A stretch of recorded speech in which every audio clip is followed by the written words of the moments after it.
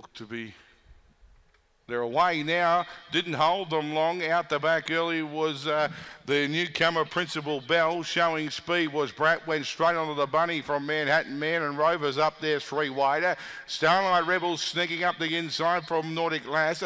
Then Travanti, Glacier Grey, the favourite, getting back in the field. Variara behind it, and last of all was Principal Bell, who's three and a half lengths away at the tail. Stander Man's gone to the front here on Bratton. He leads them down past the 700, a half Manhattan Manor, and Rover moving up out there three wide, but he looks to be on one rein.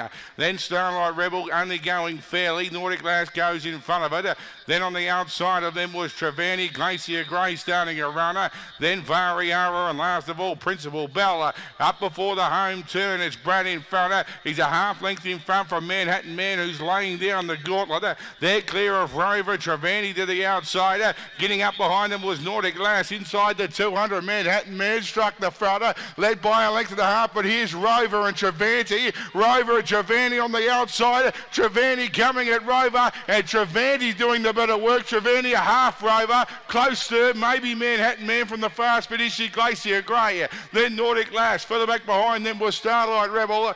Then Variara, Brat knocked up abruptly, and last of all, all the way, Principal Bell.